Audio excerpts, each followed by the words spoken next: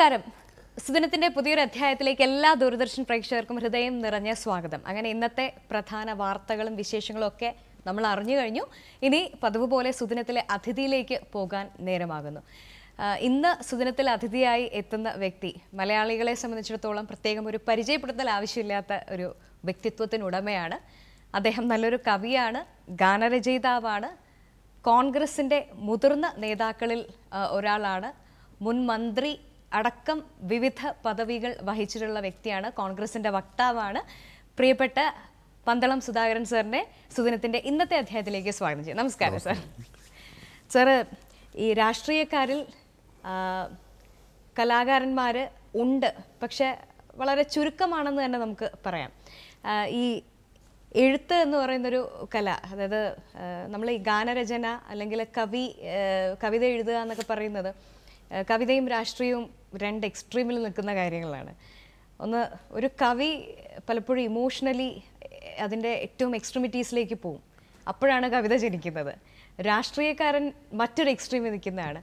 എങ്ങനെയാണ് ഒരേ സമയം നല്ലൊരു കവിയെ രാഷ്ട്രീയക്കാരനുമായിട്ട് നിൽക്കാൻ സാധിക്കുന്നത്? അത് ഉള്ളിൽ ഉണ്ടാക്കുന്ന ഒരു കോൺഫ്ലിക്റ്റ് സമ്മർദ്ദം അതെങ്ങനെയാണ് അതിജീവിക്കാറുള്ളത്? എല്ലാ മനുഷ്യരുടെയും ഉള്ളിൽ കവിത്വമുണ്ട് കലയുണ്ട് സംസ്കാരമുണ്ട്. പക്ഷെ അത് വിനിയോഗിക്കുന്നതിന്റെ അടിസ്ഥാനത്തിലാണ് അതിന്റെ റിസൾട്ട് വരുന്നത്. ഒരു നല്ല രാഷ്ട്രീയക്കാരന്റെ ഉള്ളിൽ ഒരു ഒരു നല്ല കലാകാരനും ഉണ്ടെന്നുള്ളതാണ്. ഇപ്പോൾ നമ്മുടെ മഹാനായ പണ്ഡിറ്റ് ജവഹർലാൽ നെഹ്റുവിനെ കുറിച്ച് പറയുന്നത് ഒരുപക്ഷെ അദ്ദേഹം രാഷ്ട്രീയത്തിൽ വന്നില്ലായിരുന്നെങ്കിൽ നോബൽ പ്രൈസ് കിട്ടുന്ന ഒരു വലിയ റൈറ്റ് റൈറ്ററായി മാറണമെന്നാണ് വിൻസ്റ്റൺ ചർച്ചിൽ പറഞ്ഞിട്ടുള്ളത്. അദ്ദേഹം കേന്ദ്ര സാഹിത്യ അക്കാദമിയുടെ ആദ്യത്തെ പ്രസിഡന്റ് കൂടിയായിരുന്നു. അദ്ദേഹം നല്ല എഴുത്തുകാരനായിരുന്നു. സഹൃദയനായിരുന്നു. സാംസ്കാരിക നായകനായിരുന്നു. അതോടൊപ്പം തന്നെ ദീർഘവീക്ഷണമുള്ള യഥാർത്ഥത്തിൽ ഇന്ത്യയുടെ രാഷ്ട്ര ശില്പിയാകാൻ അർഹതയുള്ള ശില്പി തന്നെയായിരുന്നു. അപ്പോൾ അപ്പോൾ അത് അതുകൊണ്ട് ഒരു എല്ലാം നല്ല നേതാക്കന്മാരുടെ ആയാലും സാധാരണക്കാരുടെയും മനസ്സിൽ ആ ആ കവിത്വമുണ്ട് എന്നുള്ളതാണ് സത്യം. സർ ഈ എഴുതുന്ന ആൾക്കാർ പലപ്പോഴും വല്ലാത്തൊരു സംഘർഷത്തിലൂടെ കടന്നു പോകാറുണ്ട്. ആ സംഘർഷത്തിന്റെ ഒരു ഫൈനൽ പ്രോഡക്റ്റാണ് പല മികച്ച സൃഷ്ടികളും വന്നിട്ടുള്ളത്. നമുക്ക് അത്തരത്തിലുള്ള സംഘർഷങ്ങളെ എങ്ങനെയാണ് അതിജീവിക്കാൻ സാധിക്കുക? ഇപ്പോൾ ഇപ്പോൾ സംഘർഷത്തിന്റെ ഒരു പുതിയ കാലഘട്ടത്തിലാണ്. കാരണം ഇപ്പോൾ പേടിയുടെയും നുണയുടെയും കാലമാണ് യഥാർത്ഥത്തിൽ. ഈ ആത്മസംഘർഷങ്ങളുടെ ഒരു ആവിഷ്കാരമാണ് യഥാർത്ഥത്തിൽ നല്ല ഒരു സാഹിത്യ സൃഷ്ടി അല്ലെങ്കിൽ നല്ലൊരു ചിത്രം അല്ലെങ്കിൽ ഒരു നല്ല രചന അല്ലെങ്കിൽ ഒരു നല്ല സിനിമ. എന്തായാലും. പക്ഷേ അത് കറക്റ്റ് കറക്റ്റ് അതെ പക്ഷേ ഇപ്പോൾ ഉള്ളിൽ എല്ലാവർക്കും ഭയമാണ്. നുണയാണ് ഇന്നിപ്പോൾ നമ്മളെ കൂടുതൽ നിയന്ത്രിക്കുന്നത്. ഇന്നിപ്പോൾ വാർത്താമാധ്യമങ്ങളിലൂടെയൊക്കെ പ്രത്യേകിച്ച് ഈ പത്രങ്ങളുടെയൊക്കെ എഡിറ്റോറിയലൊക്കെ ഒക്കെ പ്രചരിപ്പിക്കുന്ന ഒരു കാര്യം പറയുന്ന ഒരു കാര്യമുണ്ട്. ഇന്നിപ്പോൾ നമ്മൾ ഇന്നിപ്പോൾ സുദിനം എന്നാണ് നമ്മുടെ ഈ പ്രോഗ്രാമിന്റെ പേരെങ്കിലും ഇന്ന് മലയാളികൾ ലോകമെമ്പാടും ഇപ്പോൾ ഈ സുദിനം എന്ന വാക്ക് സത്യത്തിൽ പരിഭ്രമത്തോടു കൂടിയാണ് നമ്മളിപ്പോൾ നേരിടുന്നത്. ഓരോ സുദിനവും നമ്മൾ കാണുന്ന വാർത്തകൾ കേൾക്കുന്ന വാർത്തകൾ സത്യത്തിൽ ഭയപ്പെടുത്തുന്നതാണ്. ഇപ്പോൾ എഴുപത്തിരണ്ട് രാജ്യങ്ങളിൽ കൊറോണ വൈറസ് ബാധിച്ചു എന്ന് പറയുന്നത് പ്രത്യേകിച്ച് നമ്മളെല്ലാവരെയും ഇരുത്തി ചിന്തിപ്പിക്കുന്ന ഒരു കാര്യമാണ്. ഇന്ന് തന്നെ ഒരു പ്രമുഖ ദേശീയ ദിനപത്രത്തിന്റെ എഡിറ്റോറിയൽ അതിനെക്കുറിച്ച് എഴുതിയിട്ടുണ്ട്. അതിൽ പറയുന്ന ഒരു കാര്യം നമ്മൾ വീണ്ടും ആവർത്തി ഞാനും ആവർത്തിക്കുകയാണ്. അതായത് വാർത്താ മാധ്യമങ്ങളിലൂടെ വാർത്താമാധ്യമങ്ങളിലൂടെ അതിനേക്കാൾ അപ്പുറമായി സാമൂഹ്യ മാധ്യമ സോഷ്യൽ മീഡിയയിലൂടെ ആണ് കൂടുതൽ ഇതിന് ഇതിന്റെ കാരണങ്ങൾ കാര്യങ്ങൾ പ്രചരിപ്പിക്കുന്നത്. പക്ഷേ നല്ലത് പ്രചരിപ്പിക്കുന്നതിനേക്കാൾ കൂടുതൽ നുണപ്രചാരണങ്ങളാണ് ഈ സാങ്കേതിക വിദ്യയുടെ വിദ്യ ഉപയോഗപ്പെടുത്തിക്കൊണ്ട് പലരും ചെയ്യുന്നത്. അതാണ് കൂടുതൽ അപകടം ഉണ്ടാക്കുന്നത് അപ്പോൾ ഒരു ഒരു കരുതൽ ഈ കാര്യത്തിൽ നമുക്ക് വേണം അത് മാധ്യമങ്ങളിലായാലും സാമൂഹ്യ മാധ്യമങ്ങളിലായാലും എന്നുള്ളതാണ് എന്റെ ഒരു അഭിപ്രായം. ഈ സാമൂഹ്യ മാധ്യമങ്ങളെ ഏറ്റവും നല്ല രീതിയിൽ ഉപയോഗിക്കുന്നത് പലപ്പോഴും രാഷ്ട്രീയ പാർട്ടികളാണ്. സാർ അതിന്റെ ഒരു ആ- ഏരിയയിലേക്ക് ഞാൻ വരുന്നതിന് മുമ്പ് സാറിലെ എഴുത്തുകാരനിലേക്ക് ഒന്ന് ഫോക്കസ് ചെയ്യാനായിട്ട് ആഗ്രഹിക്കുന്ന ഒരു അല്പസമയം. സാറിന്റെ ഒരു എഴുത്ത് ജീവിതം തുടങ്ങുന്നത് എനിക്കൊന്നു സ്കൂളിൽ പഠിക്കുന്ന കോളേജിൽ പഠിക്കുന്ന ആ ഒരു കാലഘട്ടം തൊട്ടേ എഴുത്തിൽ വളരെ സജീവമാണല്ലോ.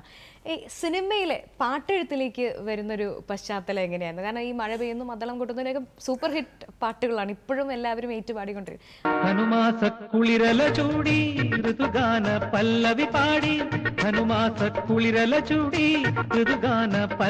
പാടി. കൗമാര കുളിരരുവി നീ ദാഹമായി വരൂ. കൗമാര കുളിരരുവി നീ ദാഹമായി വരൂ. ശൃംഗാരപ്പൂവിനുള്ളിൽ നിറയുന്നൊരു മധുവാകൂ. ശൃംഗാരപ്പൂവിനുള്ളിൽ നിറയുന്നൊരു മധുവാകൂ. ആ ഒരു സൗഹൃദം ആ അത് തുടങ്ങുന്നത് എങ്ങനെയാണ്? ആ ഒരു കഥയെന്ന് ചുരുക്കി പറയാം. അല്ല ഞാൻ ഞാൻ ജനിച്ചതും പഠിച്ചതും വളർന്നതും എല്ലാം പന്തളം എന്ന ഇപ്പോൾ പട്ടണമാണ് എന്ന പഴയ ഗ്രാമത്തിലാണ്. അപ്പം അത് ഒരു സൗഭാഗ്യമായി ഞാൻ കരുതുന്നു. പിന്നെ എന്തൊക്കെ പറഞ്ഞാലും ഏറ്റവും വലിയ ഒരു ഒരു മതേതര ജനാധിപത്യ ദൈവം എന്ന് പറയുന്നത് ശബരിമല അയ്യപ്പനാണ്. അവിടെ ഒരു ഡിസ്ക്രിമിനേഷനും ഇല്ല. ഒരു തരത്തിലുള്ള ഡിസ്ക്രിമിനേഷൻ അപ്പോൾ ശബരിമല അയ്യപ്പന്റെ ആ സാന്നിധ്യം കൊണ്ട് അല്ലെങ്കിൽ ജന്മം കൊണ്ട് ഒരു പുണ്യഭൂമിയായി എന്ന് ഞാൻ ഒരു മലയാളി അല്ല ഒരു പന്തളത്തുകാരൻ എന്നുള്ള നിലയിൽ വിശ്വസിക്കുന്ന ഒരാൾ എന്റെ എല്ലാ സൗഭാഗ്യത്തിന്റെയും പ്രധാന കാരണം എന്റെ പേരിനോടൊപ്പം ആ പന്തളം ചേർത്തത് തന്നെയാണെന്ന് ഞാൻ വിശ്വസിക്കുന്നു. രണ്ടാമത്തെ സൗഭാഗ്യം എന്ന് പറയുന്നത് ഞാൻ ഇന്ത്യൻ നാഷണൽ കോൺഗ്രസിന്റെ വിദ്യാർത്ഥി വിഭാഗമായ കെ എസ് യുവിൽ അംഗമായി എന്നുള്ളതാണ്. അപ്പോൾ ഇത് രണ്ടും എന്റെ സൗഭാഗ്യം തന്നെയാണ്. അപ്പോൾ ഞാൻ പക്ഷേ പന്തളം എൻ എസ് എസ് ഹൈസ്കൂളിൽ പഠിക്കുന്ന കാലത്ത് തന്നെ ആ, സ്കൂളിലെ സ്കൂൾ പാർലമെന്റിലും ഞാൻ യഥാർത്ഥത്തിൽ സർക്കാരിലൊരു മന്ത്രിയാവുന്നതിന് മുമ്പ് സ്കൂൾ പാർലമെന്റിലെ മന്ത്രിയായിരുന്ന ആളാണ്. എന്ന് വെച്ചാൽ ഒരു അപ്പോൾ പക്ഷെ അന്ന് തന്നെ എല്ലാ ഈ കായിക വിനോദം ഒഴികെ കാരണം അതെന്റെ ശരീരഘടന യോജിക്കാത്തതുണ്ട് എല്ലാ ഏറ്റവും വലിയ ആഗ്രഹവും മിലിറ്ററി ഫോഴ്സിന്റെ ഭാഗമാകുവാനല്ലേ എന്റെ ജീവിതത്തിലെ ഏറ്റവും വലിയ ആഗ്രഹം അന്ന് ഒരു പട്ടാളക്കാരനാകണമെന്നായിരുന്നു. പക്ഷേ എന്റെ ശരീരഘടന കൊണ്ട് അതിന് കഴിഞ്ഞില്ല എന്നുള്ള സത്യം. പക്ഷെ ഇപ്പോഴും ഞാൻ ലോ ഏറ്റവും കൂടുതൽ ആരാധിക്കുകയും ബഹുമാനിക്കുകയും ചെയ്യുന്ന ഒരു വിഭാഗം എന്ന് പറയുന്നത് പട്ടാളക്കാരെയാണ്. കാരണം അവർ അവരാണ് യഥാർത്ഥത്തിൽ നമ്മൾക്ക് സമാധാനത്തോടു കൂടി ഉറങ്ങാൻ കഴിയുന്ന സാഹചര്യം ഉണ്ടാക്കുന്നത്. പട്ടാളക്കാരെ ഞാൻ ബഹുമാനിക്കുന്നു. അപ്പോൾ അന്ന് സ്കൂളിൽ പഠിക്കുന്ന കാലം മുതൽ നാടകം നാടകം സ്വന്തമായിട്ട് എഴുതി സംവിധാനം ചെയ്ത് സമ്മാനം മേടിച്ചിട്ടുണ്ട്. കോളേജിൽ വന്നപ്പോഴും അത് തുടർന്നിട്ടുണ്ട്. അത് ഈ കാലഘട്ടത്തിൽ തന്നെ മഹാനായ നാടകാചാരി എൻ എൻ പിള്ള സാറുമായി വ്യക്തിപരമായി ഇടപെടാൻ ഉള്ള അവസരമുണ്ടായി. ഞാൻ അദ്ദേഹത്തിന്റെ നാടക ക്യാമ്പിൽ പോകുമായിരുന്നു. അദ്ദേഹത്തിന്റെ പ്രിയ മകൻ കുട്ടൻ വിജയരാഘവനുമായിട്ട് വ്യക്തിപരമായി ഇന്നും ആ ബന്ധം തുടരുന്നു. അപ്പോൾ അങ്ങനെ അദ്ദേഹത്തിന്റെ ആ ഒരു നാടക നാടകവുമായിട്ടുള്ള ബന്ധത്തിന് എനിക്ക് കുറേ കൂടി ഒരു താല്പര്യം ജനിച്ചു. അങ്ങനെ ഞാൻ നിരവധി ഏകാംഗ നാടകങ്ങൾ നാടകങ്ങളൊക്കെ അക്കാലത്ത് എഴുതിയിരുന്നു. പിന്നീട് അതോടൊപ്പം തന്നെയാണ് കെ എസ് യു പ്രവർത്തനവുമായി താര തര കൂടുതൽ അടുത്ത് വന്നത്. പക്ഷേ അപ്പോഴും എന്റെ മനസ്സിൽ ഞാൻ കുട്ടിക്കാലത്ത് പത്താം ക്ലാസ്സിൽ പഠിക്കുമ്പോൾ ക്ലാസ് ടീച്ചർ എന്നോട് ചോദിച്ചു മലയാള അധ്യാപകൻ ഓരോരുത്തരോടും ചോദിച്ചു നിങ്ങൾ ആരാകണം ആരാകണം? അപ്പം ഇനി പൊട്ടനായ ഞാൻ പറഞ്ഞു ഒരാൾ പറഞ്ഞു ഡോക്ടറാവണം എഞ്ചിനീയർ ആവണം ഐ എ എസ്സുകാരനാവണം കളക്ടറാവണം ഡെപ്യൂട്ടി പോലീസ് സൂപ്രണ്ട് ആവണം എന്നൊക്കെ പറഞ്ഞു. എന്റെ ഊഴം വന്നപ്പോൾ ഞാൻ പറഞ്ഞു ഒരു കവിയാകണമെന്ന് പറഞ്ഞു. അപ്പോൾ എല്ലാവരും പൊട്ടിച്ചിരിച്ചു. അപ്പോൾ എനിക്കെന്റെ പൊട്ടത്തരം കൊണ്ട് പറ്റിയതാണ്. അപ്പോൾ എന്റെ ഉള്ളിൽ എന്റെ ഉള്ളിൽ ഒരു ഒന്നിനെ ഒരു വ്യക്തത കൊണ്ടല്ല ഒരാഗ്രഹം അതായിരുന്നു. പക്ഷേ സംഗതി വെച്ചാൽ രാഷ്ട്രീയത്തിലേക്ക് വന്നു. ഇതിനോടൊപ്പം തന്നെ ഞാൻ ഒരു സ്റ്റുഡിയോയിലെ ഫോട്ടോഗ്രാഫറായിരുന്നു അങ്ങനെ ഞാൻ ജോലി ചെയ്ത് അപ്പോൾ സ്റ്റുഡിയോയിൽ നിന്നാണ് സ്കൂളിൽ പോയത്. സ്റ്റുഡിയോയിൽ നിന്നാണ് ഞാൻ കോളേജിൽ പോയത്.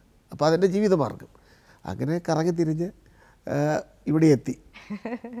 ചെറിയ ഈ പാട്ട് എഴുത്തിലേക്ക് ഈ സിനിമയ്ക്ക് വേണ്ടിയുള്ള പാട്ടെഴുത്തിന്റെ ആ ഒരു പശ്ചാത്തലം അതെങ്ങനെയായിരുന്നു തുടങ്ങുന്നത്? അത് നേരത്തെ പറഞ്ഞ പോലെ ഈ വിജയരാഘവൻ അടക്കമുള്ളവരുടെ ആ ഒരു സൗഹൃദമായിരുന്നോ? അതോ മറ്റ് സൗഹൃദങ്ങളായിരുന്നോ പാട്ടെഴുത്തിലേക്ക് കൊണ്ടെത്തിച്ചത്? ഈ സൗഹൃദം രാഷ്ട്രീയത്തിലും ഈ സാംസ്കാരിക രംഗത്തും സാഹിത്യ രംഗത്തും ഒക്കെ എനിക്ക് അന്ന് നല്ലതായിട്ടുണ്ടായിരുന്നു. ഇപ്പോൾ യൂസഫ് അലി കേച്ചേരി അതുപോലെ എസ് പി സി എസിന്റെ secretary M K Madhavan sir അവരൊക്കെ എന്നെ ഒരുപാട് പുസ്തകങ്ങൾ തന്ന് പ്രോത്സാഹിപ്പിക്കുന്ന ഒരാളാണ് ഞാൻ സിനിമയിലേക്ക് വരാനുള്ള എഴുതാനുള്ള കാരണം അന്ന് കേരളത്തിലെ ഏറ്റവും പ്രമുഖമായ കലാഭൂതി ഉൾപ്പെടെയുള്ള എല്ലാ പ്രസിദ്ധീകരണങ്ങളിലും മലയാ മനോരമ ഉൾപ്പെടെ നിരന്തരമായി കവിത എഴുതുന്ന ഒരാളായിരുന്നു. ഞാൻ കോളേജ് പഠിക്കുമ്പോൾ തന്നെ. അപ്പോൾ ആ ഒരു അനുഭവത്തിന്റെ അടിസ്ഥാനത്തിൽ തിരുവനന്തപുരത്ത് കെ എസ് യു പ്രവർത്തനങ്ങളുമായി വന്നപ്പോൾ ശ്രീ സുരേഷ് കുമാർ നമ്മുടെ മേനക സുരേഷ് കുമാർ അതുപോലെ പ്രിയദർശൻ അങ്ങനെ അങ്ങനെ ഒരു ഇവിടെയുള്ള സിനിമ ഒരു വലിയ പാഷനായി കൊണ്ട് നടക്കുന്ന ഒരു പറ്റ അന്നത്തെ ചെറുപ്പക്കാരുമായിട്ടുള്ള എന്റെ ഒരു അടു സൗഹൃദം. രാഷ്ട്രീയമല്ല ഒരു സൗഹൃദം. ആ കൂട്ടത്തിൽ മോഹൻലാലൊക്കെ ഒക്കെ എല്ലാവരും ഉണ്ട്. അശോക് കുമാർ. അങ്ങനെ ആ ഒരു സൗഹൃദത്തിലാണ് ഞാൻ സിനിമയ്ക്ക് പാട്ടെഴുതി എന്നെ പ്രേരിപ്പിച്ച സത്യത്തിൽ ഈ സുരേഷും പ്രിയദർശനും ഒക്കെയാണ്. അങ്ങനെയാണ് ഞങ്ങൾ മദ്രാസിൽ പോയി. അന്ന് മദ്രാസിലാണല്ലോ. അങ്ങനെ എഴുതുന്നു. അങ്ങനെ ഒന്ന് എഴുതി രണ്ട് എഴുതി അങ്ങനെ പത്ത് പതിനഞ്ച് സിനിമകൾക്ക് എഴുതി ഞാൻ തിരിഞ്ഞു നോക്കുമ്പോൾ എനിക്കൊരു അത്ഭുതം തോന്നുന്നുണ്ട്. പക്ഷേ ഞാൻ അതോ ഇതേ കാലഘട്ടത്തിൽ തന്നെയാണ് എൺപത്തിരണ്ടിൽ എം എൽ എ ആകുന്നു. പിന്നീട് ഏതാണ്ട് തൊണ്ണൂറ്റാറ് വരെ നിരന്തരം നിയമസഭാ സാമാജികൻ എന്നുള്ള ഈ പ്രവർത്തനത്തിന്റെ ഇടയിൽ ചിലപ്പോൾ അന്ന് സിനിമ പൂർണമായും ചെന്നൈയിലായതുകൊണ്ട് ഇന്നത്തെ സൗകര്യങ്ങളിൽ ഒരുപക്ഷെ ഇന്നായിരുന്നെങ്കിൽ നമുക്ക് വീട്ടിൽ ഇരുന്ന് പാട്ട് എഴുതാം വീട്ടിൽ ഇരുന്ന് റെക്കോർഡ് ചെയ്യാം വീട്ടിൽ ഇരുന്ന് സിനിമ ഷൂട്ട് ചെയ്യുന്ന ഒരു കാലഘട്ടത്തിലേക്ക് മാറിയപ്പോൾ മാറി. അന്നതല്ല എല്ലാം നമ്മൾ മദ്രാസിലായിരുന്നു. ആകെയുള്ള ചിത്രാഞ്ജലി സ്റ്റുഡിയോ ആയിരുന്നു ഞാൻ അപ്പോൾ അതുകൊണ്ട് അതേപോലെ തന്നെ ചിത്രാഞ്ജലിയുടെ K S F D C direct board മെമ്പറൊക്കെ ആയിരുന്നു. ഞാൻ അപ്പോൾ എനിക്ക് അങ്ങനെ ഒരുപാട് ആൾക്കാർ ഉണ്ടായിരുന്നു. മാക്ടയുടെ ഇലക്ടഡ് വൈസ് പ്രസിഡന്റ് ആയിരുന്നു. അവാർഡ് കമ്മിറ്റി ജൂറി ആയിട്ടിരുന്നു അപ്പോൾ ഈ മേഖലയിലൊക്കെ ഞാൻ പ്രവർത്തിച്ചത് ഈ സൗഹൃദം കൊണ്ട് തന്നെയാണ്. അതൊരു സംശയം വേണ്ട. സാർ എഴുതിയിട്ടുള്ള പാട്ടുകളിൽ സാറിന്റെ ഒരു പേഴ്സണൽ ഫേവറേറ്റ് ചോദിച്ചു കഴിഞ്ഞാൽ പറയാൻ ബുദ്ധിമുട്ടാവോ? ഒരമ്മയ്ക്ക് എല്ലാ മക്കളും ഒരേപോലെ ഒരുപോലെയാണ്. പക്ഷെ ഇപ്പൊ കേൾവി ഇപ്പൊ ഞാൻ സാറിന്റെ ലിസ്റ്റ് പരിശോധിച്ച് കഴിഞ്ഞാൽ എനിക്ക് ചിലപ്പോൾ പെട്ടെന്ന് റിലേറ്റ് ചെയ്യാൻ പറ്റുന്ന അല്ലെങ്കിൽ ഇഷ്ടം എന്റെ മൗനരാഗം എന്ന് നീ അറിഞ്ഞു വളരെ ബ്യൂട്ടിഫുൾ ഒരു റൊമാന്റിക് സോങ് ആണ്. സാറിന്റെ ഒരു പേഴ്സണൽ ഫേവറേറ്റ് അങ്ങനെ പിക്ക് ചെയ്യാൻ പറഞ്ഞാൽ? അത് ഈ സത്യം പറഞ്ഞാൽ ഈ എനിക്ക് നന്ദിയുള്ളത് ആകാശവാണിയോടാണ്. കാര്യം ആകാശവാണിയിൽ ഇടയ്ക്കിടയ്ക്ക് ഈ പാട്ടിങ്ങനെ ഈ എന്റെ മൗനരാഗം എന്നുള്ള പാട്ട് വെക്കാറുണ്ട്. അതുപോലെ അതുപോലെ തന്നെ അമൃതം ചുരിയും പ്രിയ ഗീതം എന്ന് പറഞ്ഞൊരു സെമി ക്ലാസിക് ദാസേട്ടനും ചിത്രയും കൂടെ പാടി. അങ്ങനെയൊക്കെയുള്ള ചില ചില പാട്ടുകളൊക്കെ ഉണ്ട്. അമൃതം ചൊരിയും പ്രിയഗീതം അമൃതം ചൊരിയും പ്രിയഗീതം ഹൃദയവീണയായി മൗനരാഗമായി അനുപമമോഹ ശൃംഗവേദിയിൽ അമൃതം ചൊരിയും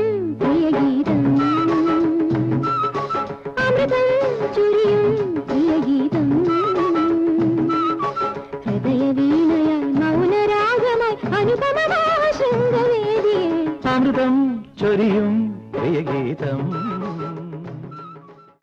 അത് ഈ റേഡിയോ കൂടെ വീണ്ടും കേൾക്കുമ്പോൾ എനിക്കൊരു സന്തോഷം ഉള്ളിൽ തോന്നുന്നത് പലരും ഈ പാട്ട് കേട്ടിട്ട് എന്നെ വിളിച്ച് ചോദിക്കും. ഇങ്ങനെ ഈ പന്തള സുധാകരൻ എന്ന് പറഞ്ഞാൽ ആ പന്തള സുധാകരനാണ് ഈ പന്തള കാരണം നമ്മുടെ ഒരു ചിന്തയെന്ന് പറയുമ്പോൾ വീണ തന്നെ പറഞ്ഞ പോലെ രാഷ്ട്രീയക്കാരായതുകൊണ്ട് പാട്ട് എഴുതാൻ പാടില്ല എഴുതുന്നവരല്ല എന്നുള്ള ഒരു ഒരു ഒരു ചിന്തയുള്ളതുകൊണ്ടാണത്. പക്ഷേ പഴയ ഇപ്പോൾ ദൂരദർശനിലായാലും ടി വികളിലായാലും പഴയ സിനിമകളൊക്കെ കാണിക്കുന്നത് എന്നെ പോലുള്ള പഴയ പാട്ടെഴുത്തുകാർക്ക് ഒരു നല്ലതായിട്ടാണ് എനിക്ക് തോന്നുന്നത്. സാർ ഈ പാട്ടിൽ നിന്ന് ഞാനൊരു അല്പ സാറിന്റെ മറ്റ് മേഖലയിലെ സാറിന്റെ കാഴ്ചപ്പാടുകളിലേക്ക് വരാം. നേരത്തെ നമ്മൾ സോഷ്യൽ മീഡിയയെക്കുറിച്ച് പറഞ്ഞിരുന്നല്ലോ. ഏറ്റവും അധികം സോഷ്യൽ മീഡിയയെ ക്യാമ്പയിനിങ്ങിന് ഉപയോഗിക്കുന്ന ഇന്ന് രാഷ്ട്രീയ പാർട്ടികളാണ്. ഇപ്പോൾ സാറ് വളർന്നു വരുന്ന ഒരു കാലഘട്ടത്തിൽ സാറ് പറഞ്ഞപ്പോൾ വളരെ ചെറുപ്പത്തിലെ കെ എസ് യുവിന്റെ ഭാഗമാവുന്നു. അതിനുശേഷം യൂത്ത് കോൺഗ്രസ് നിരന്തരമായി വർഷങ്ങൾ പ്രയത്നിച്ചിട്ടാണ് ഒരു അല്ലെ കെ എസ് യുവിൽ തുടങ്ങിയ ഒരു പ്രവർത്തനത്തിൽ നിന്നാണ് പിന്നീട് എം എൽ എ ആവുന്നതും മന്ത്രിയാവുന്നതും ഒരു തുടർച്ച. പക്ഷേ ഇപ്പോൾ സോഷ്യൽ മീഡിയ എന്ന് പറയുന്ന ഒരു പ്ലാറ്റ്ഫോം ഒരു മാസം കൊണ്ടോ അല്ലെങ്കിൽ രണ്ട് മാസം കൊണ്ടോ പെട്ടെന്ന് താരോദയങ്ങൾ ഉണ്ടാക്കാനും അല്ലെങ്കിൽ അവർ വളരെ നീഡഡ് ആണെന്നൊരു ഇമേജ് ക്രിയേറ്റ് ചെയ്യാനും ഒരു പരിധിവരെ സഹായിക്കുന്നുണ്ട്. എങ്ങനെയാണ് സർ അതിനെ വിലയിരുത്തുന്നത്? അത് നമുക്ക് ഗുണകരമായിട്ടാണോ ഭവിക്കാൻ പോകുന്നത്? സാറിന്റെ ഒരു കാഴ്ചപ്പാട് എന്താണ്? ഒന്ന് പകുതി ഗുണമാണ് പകുതി മോശമാണ്. ഇപ്പം മണിക്കൂറുകൾ വേണ്ട. ഒരു ഒരു സെക്കൻഡ് മതി. അതെ. ഇപ്പോൾ എനിക്ക് ആ പേര് കൃത്യമായിട്ട് ഓർക്കുന്നില്ല. അവസാനം വാര്യർ എന്ന് പറയുന്നൊരു പെൺകുട്ടി സിനിമയിൽ അഭിനയിച്ച്. അതിന്റെ ഒരു കണ്ണിറുക്കുകൊണ്ട് ലക്ഷക്കണക്കിന് ആരാധകരെയും ലക്ഷക്കണക്കിന് ലക്ഷക്കണക്കിന് ലൈക്ക് കിട്ടി എന്നൊക്കെ പറയുന്ന ഒരു ഒരു കാലഘട്ടത്തിലാണ് നമ്മൾ നിൽക്കുന്നത്. അപ്പോൾ സോഷ്യൽ മീഡിയ വളരെ പവർഫുള്ളാണ് ഒരുപാട് നല്ല കാര്യങ്ങളുണ്ട്. അതുപോലെ താരോദയങ്ങളും ഉണ്ടാകുന്നുണ്ട്. പക്ഷേ താരോദയങ്ങൾ എത്ര നാൾ ആകാശത്തിങ്ങനെ നിൽക്കുന്നു എന്നുള്ളതൊരു ഒരു പ്രശ്നമാണ്. ഇപ്പോൾ നമ്മളെല്ലാവരും പറയാറുണ്ട്. ശ്രീ ശ്രീ മമ്മൂട്ടി ആയാലും ശ്രീ മോഹൻലാൽ സത്യം പറഞ്ഞാൽ നമ്മൾ പുതിയ തലമുറയല്ല ഏത് തലമുറയും പൂവിട്ട് വണങ്ങേണ്ട പ്രതിഭകളാണ്. കാരണം അവരുടെ ആ തുടക്കത്തിൽ അവർ കാണിച്ച ആ ഒരു ത്യാഗം അവർ കാണിച്ച ഒരു ക്ഷമ ആത്മസമർപ്പണമൊക്കെ ഒരു പരിധി വരെ ദൂരെ നിന്ന് കാണാനും അടുത്ത് നിന്ന് കാണാനും കഴിഞ്ഞ ഒരാളാണ് ഞാൻ. പക്ഷേ ഇപ്പോൾ അങ്ങനെയല്ല. ഈ സോഷ്യൽ മീഡിയ ഉള്ളതുകൊണ്ട് വാർത്താമാധ്യമങ്ങളുടെ ഉള്ളതുകൊണ്ട് അതേപോലെയുള്ള പ്രോത്സാഹനം എല്ലാ രംഗത്തും കിട്ടുമ്പോൾ ഒരു മിനിറ്റ് കൊണ്ട് തന്നെ അല്ലെങ്കിൽ ഒറ്റ സിനിമ കൊണ്ട് തന്നെ സൂപ്പ് ആദ്യം സൂപ്പർ താരം സൂപ്പർ സ്റ്റാർ എന്ന് പറഞ്ഞാണ് പോസ്റ്റർ തന്നെ വരുന്നത്. പോസ്റ്റർ വരുന്നത്. അപ്പോൾ അത് പക്ഷെ അത് എത്ര നാൾ നിൽക്കും എന്നുള്ളത് രാഷ്ട്രീയത്തിൽ എങ്ങനെയാണ് ഒരു ഒരു പൊതുമണ്ഡലത്തിൽ നിൽക്കുന്ന അല്ലെങ്കിൽ നിൽക്കാൻ ആഗ്രഹിക്കുന്ന വ്യക്തികൾക്ക് അങ്ങനത്തെ ഒരു സോഷ്യൽ മീഡിയ തീർച്ചയായിട്ടും ഒരു ഇമേജ് ക്രിയേഷനൊക്കെ സഹായിക്കുമായിരിക്കും. പക്ഷെ അത് ചെറു ദീർഘമായ ഒരു രാഷ്ട്രീയ ജീവിതം നയിച്ച ഒരാളെന്നുള്ള രീതിയിൽ എങ്ങനെയാണ് അതിനെ വിലയിരുത്തുന്നത്? ഇപ്പോൾ എനിക്ക് എനിക്ക് തോന്നുന്നത് നമ്മുടെ ഇപ്പോൾ ഇന്ത്യൻ രാഷ്ട്രീയത്തിൽ ഒരു മലയാളി എന്നുള്ള നിലയിൽ യഥാർത്ഥത്തിൽ ഈ നമ്മുടെ ഡോക്ടർ ശശി തരൂരാണ് യഥാർത്ഥത്തിൽ ഈ സോഷ്യൽ മീഡിയ യഥാർത്ഥത്തിൽ ഏറ്റവും കൂടുതൽ നന്നായി ഉപയോഗിച്ച ഒരാൾ. അദ്ദേഹത്തെ വ്യക്തിപരമായിട്ട് അടുപ്പമുള്ള ഒരാൾ എന്നുള്ള രാഷ്ട്രീയത്തിൽ വരുന്നതിന് മുമ്പാണ് അറിയാമെന്നുള്ള അന്ന് മുതൽ അദ്ദേഹം ഈ സോഷ്യൽ മീഡിയ ശരിക്കും അതിന്റെ മർമ്മം അറിഞ്ഞ് പ്രയോഗിച്ച ഒരാളാണ്. അതിനുശേഷമാണ് പലരും അദ്ദേഹം മന്ത്രിയായിരുന്നപ്പോൾ തന്നെ ട്വിറ്റർ അദ്ദേഹത്തിന്റെ ട്വിറ്ററിലൂടെ നമുക്ക് ആശയ വിനിമയം നടത്താൻ കഴിയുന്ന ഒരു സാ സ്വാതന്ത്ര്യം ഉണ്ടായിരുന്നു. നമ്മുടെ മൺമറഞ്ഞ സുഷമ സ്വരാജ് വിദേശകാര്യമന്ത്രിയായിരുന്നു. സുഷമ സ്വരാജൊക്കെ ഓരോരുത്തരും അവരവരുടെ അഭിപ്രായങ്ങളും അവരുടെ ആവശ്യങ്ങളൊക്കെ ട്വിറ്ററിലൂടെ. അപ്പോൾ സോഷ്യൽ മീഡിയയ്ക്ക് അതിന്റേതായ ഒരു പവർ ഉണ്ടെന്ന കാര്യത്തിൽ സംശയമില്ല. വളരെ പെട്ടെന്ന്. അപ്പോൾ അതേപോലെ തന്നെ ഈ- ഈ മിന്നാമിനുങ്ങായിട്ടും ചിലർ വരാറുണ്ട്. കാര്യം വന്നു അങ്ങ് പോവും. പക്ഷേ ഒരു ഒരു സ്ഥിരതയുള്ള ഒരു ദൃഢതയുള്ള ഒരു ഒരു ഒരു ഒരു നേതൃത്വം ഒരു നേതാവ് ഉണ്ടാകണമെങ്കിൽ തീർച്ചയായും മണ്ണിൽ ചവിട്ടി നിൽക്കുന്ന അനുഭവമുള്ള ഒരാളായിരിക്കണം. അതല്ലാത്തൊക്കെ പൊലിഞ്ഞു പോകുന്ന കാര്യത്തിൽ യാതൊരു സംശയമില്ല ആഴത്തിൽ വേരുകൾ ഉണ്ടാകണം എന്നുള്ളത് നൂറ് ശതമാനം. ആഴത്തിൽ വേരുകളില്ലെങ്കിൽ കടമുഴകി വീഴും. വീഴും, അപ്പോൾ ഇപ്പോൾ കൂടുതലും കുറേ ബോൺസായികളുണ്ട്. പിന്നെ നമ്മളൊക്കെ ഇപ്പോൾ ആറ് മാസം കൊണ്ട് കായ്ക്കുന്ന ചക്ക മൂന്ന് മാസം കൊണ്ട് ചായക്കുന്ന തെങ്ങ് ഈ ഒരു കാലഘട്ടമാണത്. അപ്പോൾ അങ്ങനെ വരുന്ന നേതാക്കന്മാർ അതേപോലെ പട്ടുപോകും. അതിന് ഒരു സംശയം വേണ്ട. അതെ സാർ ഈ രാഷ്ട്രീയത്തിൽ കഴിഞ്ഞൊരു പത്ത് മുപ്പത് നാൽപ്പത് കൊല്ലം കൊണ്ട് വന്നിട്ടുള്ള മാറ്റം എന്തൊക്കെയാണ്? ഇപ്പം സാറ് വിദ്യാർത്ഥി രാഷ്ട്ര രാഷ്ട്രീയത്തിലേക്ക് കടന്നു വരുന്നത് തൊട്ട് ഇന്ന് എന്തൊക്കെ മാറ്റങ്ങൾ വന്നിട്ടുണ്ടാവും?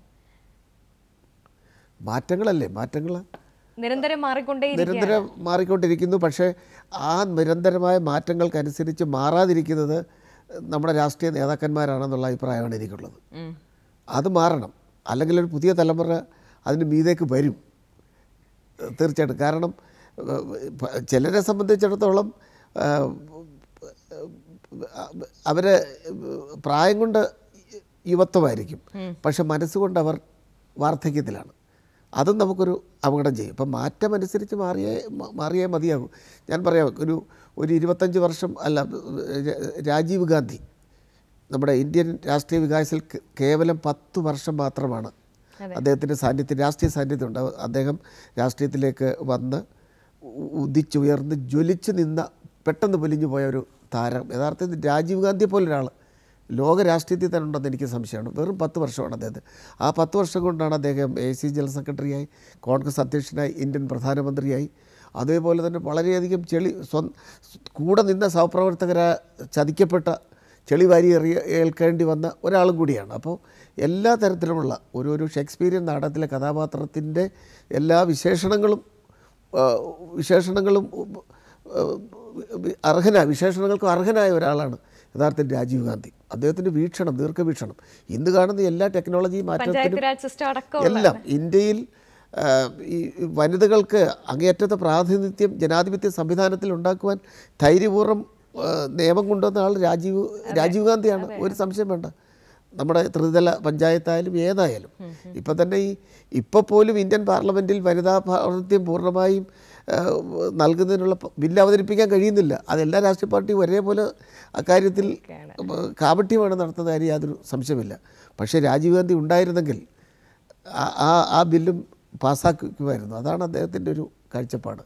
വെണ്ണ പോലെയുള്ള ഒരു പ്രകൃതമായിരുന്നു രാജീവ് ഗാന്ധി. സാറ് സാറ് രാഷ്ട്രീയത്തിലേക്ക് സാറിന് ഇപ്പം വളരെ യങ് ആയിട്ട് എം എൽ എ ആവാൻ അസംബ്ലിയുടെ ഭാഗമാകാൻ പറ്റിയൊരു വ്യക്തിയാണല്ലോ.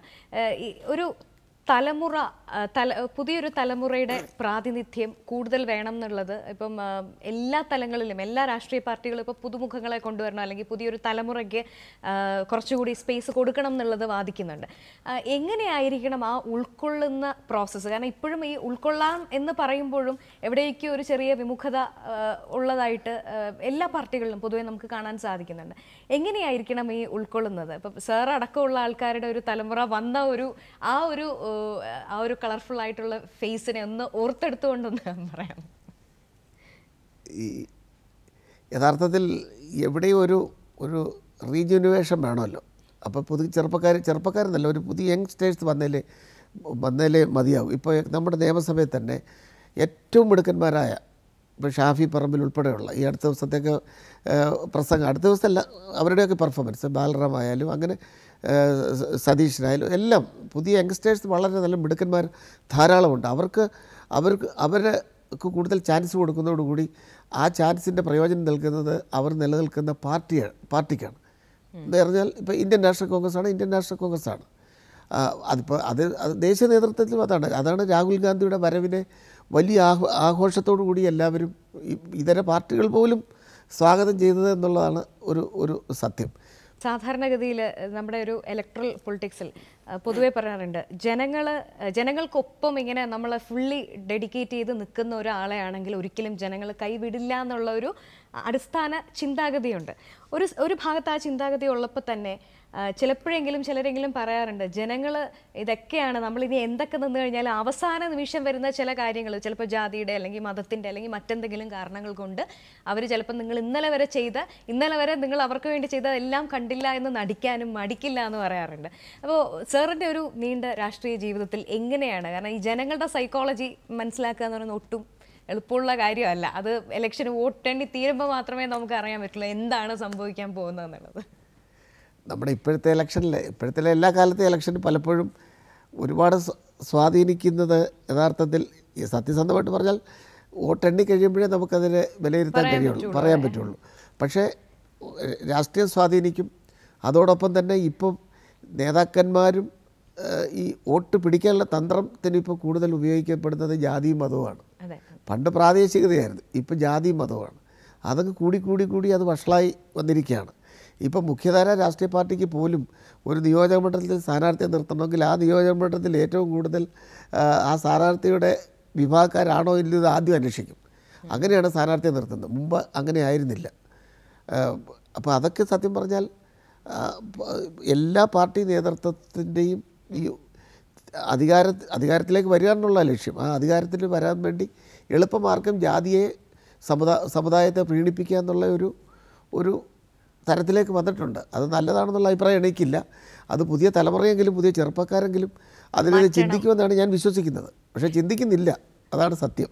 ഇപ്പോഴും എല്ലാ ഇലക്ഷൻ കാലത്ത് ഏറ്റവും അധികം ചർച്ച ചെയ്യപ്പെടുന്ന രണ്ട് കാര്യങ്ങളാണ്. ഒന്ന് ക്രിമിനലൈസേഷൻ ഇൻ പോളിറ്റിക്സും അതുപോലെ തന്നെ കറപ്ഷൻ ഇൻ പോളിറ്റിക്സും അപ്പോൾ ക്രിമിനലൈസേഷനെ കുറിച്ച് നമുക്കറിയാം. ഒരിക്കലും ക്രിമിനൽ വൽക്കരണ രാഷ്ട്രീയത്തിൽ നമ്മൾ ഒരിക്കലും അതിനെ സപ്പോർട്ട് ചെയ്യാൻ പാടില്ല. നിരവധി കോടതികളുടെ ഒബ്സർവേഷൻസ് ഒക്കെ ഇതുമായിട്ട് ബന്ധപ്പെട്ട് വരുന്നതാണ്. എനിക്കൊന്ന് ആ കാര്യത്തിൽ പൊതുജനങ്ങൾക്കും രാഷ്ട്രീയ പാർട്ടികൾക്കും നേതാക്കന്മാർക്കും മറിച്ചൊരു അഭിപ്രായം ഉണ്ടാവാൻ സാധ്യതയില്ല. ഈ കറപ്ഷൻ എന്ന് പറയുന്ന കഴിഞ്ഞ കുറച്ച് കാലമായിട്ട് ഇപ്പം എ പി അടക്കം ഉപയോഗിച്ചിരിക്കുന്ന ഏറ്റവും നല്ല ആയുധം കറപ്ഷനാണ് ശരിക്കും കറപ്റ്റ് ആകുന്നതാണോ കറപ്റ്റായി പോകുന്നതാണോ രാഷ്ട്രീയത്തിൽ? ഒരു രാഷ്ട്രീയ പാർട്ടിയും യഥാർത്ഥത്തിൽ കറപ്ഷനെയോ ക്രിമിനലൈസേഷനെ പ്രോത്സാഹിപ്പിക്കുന്നില്ല. അതിനെതിരെ നിൽക്കുക എന്നുള്ളതാണ് രാഷ്ട്രീയ പാർട്ടിയുടെ ധർമ്മം. അതാണ് ചെയ്തുകൊണ്ടിരിക്കുന്നത്. പിന്നെ നമുക്കൊരാശ്വാസം നമ്മൾ ഉത്തരേന്ത്യയിലേക്ക് നോക്കുമ്പോഴാണ് തോക്കുകളുമായിട്ട് നടക്കുന്ന ക്രിമിനലുകളാണ് അവിടെ നേതാക്കന്മാരായി മാറുന്നത്. നമുക്കറിയാമല്ലോ നമ്മുടെ അടുത്ത കാലത്ത് ചില യു പിയിലൊക്കെ ഉണ്ടായ ചില കേസുകൾ പോലും നമ്മുടെ പെൺകുട്ടികൾക്കുണ്ടായ ദുരന്ത ദുര ദുരിത ദുരന്തമൊക്കെ അറിയാം. അപ്പോൾ അവരൊക്കെ യഥാർത്ഥത്തിൽ അധികാരത്തിന്റെ ആ സംരക്ഷണ കവചമായി അധികാരത്തെ മാറ്റുന്നവരാണ്. അതൊരിക്കലും ഭൂഷണമല്ല. അതൊരിക്കലും ഒരു രാഷ്ട്രീയ പാർട്ടി പ്രോത്സാഹിപ്പിക്കാനും പാടില്ല. കേരളത്തിൽ അതുമായി കമ്പയർ ചെയ്യുമ്പോൾ വളരെ ആശ്വാസമാണുള്ളത്. ഇവിടെ ക്രിമിനലൈസേഷൻ അങ്ങനെ ഉള്ളതായിട്ട് എനിക്ക് തോന്നുന്നില്ല. അതേസമയം ഒരു പരിധിക്കപ്പുറം ഇല്ല. അതിന്റെ കാരണം വെച്ചാൽ കേരളത്തിലെ ജനങ്ങൾ അത്രയും ഒരു അവയർനെസ് ഉള്ളവരാണ്. മാധ്യമങ്ങളുടെ ഒരു ശ്രദ്ധ പൊതുവേ ജനങ്ങൾക്കുള്ള ഒരു ഒരു ഇതിന് ഒരു ശ്രദ്ധ. അതേസമയം അഴിമതി. ആ അഴിമതി അത് നോർത്ത് ഇന്ത്യയിലായാലും കേരളത്തിലായാലും ഒരേപോലൊക്കെ തന്നെ അല്ല സർ പക്ഷേ എന്റെ ഒരു സംശയം മറ്റൊന്നുമല്ല. അതായത് ഇപ്പം രാഷ്ട്രീയം എന്ന് പറയുന്നത് സാധാരണ ഒരാൾക്ക് അത്ര എളുപ്പം കൊണ്ടു നടക്കാൻ പറ്റുന്ന ഒരു കാര്യമല്ല എന്നൊരു പൊതുധാരണയുണ്ട്. പൊതുധാരണയല്ല ഇപ്പം നമ്മൾ പല ക്യാമ്പയിൻസും കാണാം. എം എൽ എമാർക്ക് എന്തിന് പെൻഷൻ കൊടുക്കുന്നു? എന്തിനാണ് എന്നൊക്കെ ചോദിച്ചിട്ട് അതിന് സൈൻ ചെയ്യണമെന്ന് പറഞ്ഞ് പല മെസ്സേജ് ഫോർവേഡ്സും വരാറുണ്ട്. പക്ഷേ ശരിക്കും രാഷ്ട്രീയ പ്രവർത്തനം നടത്തുന്ന ഒരു വ്യക്തിയെ സംബന്ധിച്ചിടത്തോളം അറിയാം ഒരു ദിവസം തള്ളി നീക്കണമെങ്കിൽ എത്ര ശ്രമകരമാണ് അവരുടെ യാത്രയടക്കമുള്ള ചിലവുകളടക്കം. അതുകൊണ്ടാണ് ഞാൻ ചോദിച്ചത് ഈ കറപ്ഷൻ എന്ന് പറയുന്നത് ഇപ്പോൾ ഒരു ഇലക്ഷൻ കണ്ടസ്റ്റ് ചെയ്യണമെങ്കിൽ തന്നെ ലക്ഷങ്ങളും കോടികളിലേക്കും ഒക്കെ കണക്കുള്ളതും ഇല്ലാത്തതും ഒക്കെ ആയിട്ട് ഏറ്റവും നന്നായിട്ട് ക്യാമ്പയിൻ ചെയ്യുന്നവർക്കെ വോട്ട് ചെയ്യൂ എന്നുള്ളത് ഒരു ഭാഗത്താണ്. അപ്പോൾ കറപ്റ്റ് ആവാൻ നമ്മുടെ സാഹചര്യങ്ങൾ കമ്പൽ ചെയ്യുന്നതാണോ? അല്ലെങ്കിൽ നമ്മുടെ ഇലക്ഷൻ കമ്മീഷന് കുറച്ചുകൂടി മികച്ച രീതിയിൽ ഒരു മോണിറ്ററിംഗ് നടത്താൻ സാധിക്കാത്തത് കൊണ്ടാണോ ഇത്തരത്തിലുള്ള ഇപ്പോൾ ഇലക്ഷൻ ക്യാമ്പയിൻ അടക്കം വൻ തുക ചെലവ് വരുത്തേണ്ടി വരുന്നത്? എന്താണ് സാറിന്റെ ഒരു കാഴ്ചപ്പാട് അതിനെക്കുറിച്ച്? യഥാർത്ഥത്തിൽ ആ അവസാനം പറഞ്ഞതിന്റെ ആദ്യം പറയാം. അതായത് ഈ ഇലക്ഷൻ കമ്മീഷൻ ഗവൺമെന്റുകളും കുറേ കാലമായിട്ട് ഇതിനെക്കുറിച്ച് ആലോചിക്കുന്ന ഒന്നാണ്. ഈ ഏറ്റവും കൂടുതൽ പണം ഒഴുക്കുന്നത് യഥാർത്ഥത്തിൽ ലോകത്തെ ഏറ്റവും വലിയ ജനാധിപത്യ രാജ്യത്തിന്റെ തെരഞ്ഞെടുപ്പിനാണ്. അതെ അതെ. ഇപ്പോൾ പ്രത്യേകിച്ച് ഈ ഈ ഏറ്റവും ലേറ്റസ്റ്റ് ആയിട്ട് പണം ഒരു അവിഭാജ്യ ഘടകമായി മാറിയിരിക്കുകയാണ്. അല്ല പണം ഉണ്ടെങ്കിൽ ഇലക്ഷന് മത്സരിക്കാൻ അവസ്ഥയിലേക്ക് അതെ എത്തിയിട്ടുണ്ട് അപ്പോൾ മുമ്പ് അങ്ങനല്ല. മുമ്പൊരു പാർട്ടി ജനങ്ങളിൽ നിന്നും പിരിവെടുത്ത് അല്ലെങ്കിൽ പല സോഴ്സ് പോസിറ്റീവായിട്ടുള്ള സോഴ്സിൽ നിന്നും പണം ശേഖരിച്ച് തെരഞ്ഞെടുപ്പ് പ്രവർത്തനങ്ങൾക്ക് വിനിയോഗിക്കുവാൻ ഇപ്പോൾ അങ്ങനല്ല. നമ്മളിപ്പോൾ തമിഴ്നാട്ടിലൊക്കെ നമുക്കറിയാമല്ലോ ഈ ഓരോ ഓട്ടും അതിനോടൊപ്പം ഒരു നോട്ടും എന്നുള്ളത് തന്നെ ഒരു ഒരു യാഥാർത്ഥ്യമായിട്ടിരിക്കുന്ന സംസ്ഥാനമാണ്. അങ്ങനെ കേരളം അതപ്പതിച്ചിട്ടില്ല എങ്കിൽ പോലും പണത്തിന്റെ സ്വാധീനം വളരെ വലുതാണ്. ഈ പണം ഇലക്ഷൻ കമ്മീഷൻ പറഞ്ഞിട്ടുണ്ട് ഇത്ര ലക്ഷം ഉറുപ്പിയാണ് ഒരു സ്ഥാനാർത്ഥി ഉപയോഗിക്കാൻ പാടുള്ളൂ. ഇലക്ഷൻ കമ്മീഷനും അറിയാം രാഷ്ട്രീയ പാർട്ടികൾക്കും സ്ഥാനാർത്ഥികൾക്കും അറിയാം. ഇതിന്റെ എത്രയോ ഇരട്ടിയാണ് ഈ തെരഞ്ഞെടുപ്പിന് വേണ്ടി നമ്മൾ ഒഴുക്കുന്ന പണം ശേഷൻ ഒരു കാലഘട്ടത്തിൽ ടി എൻ ശേഷം വരുന്നതിന് മുമ്പ് തന്നെ ഈ തെരഞ്ഞെടുപ്പിന്റെ നിയമങ്ങളൊക്കെ ഉണ്ട്. പക്ഷേ അത് നടപ്പിലാക്കാനുള്ള ചങ്കൂറ്റം കാണിച്ച അദ്ദേഹമാണ്. അതെ അതെ. അതേപോലുള്ള ശേഷന്മാർ ഇനി ഉണ്ടാകണം ഉണ്ടാകണമെന്നാണ് എന്റെ ഒരു അഭിപ്രായം. കാരണം പണമില്ലാത്തവനും മത്സരിക്കണമല്ലോ.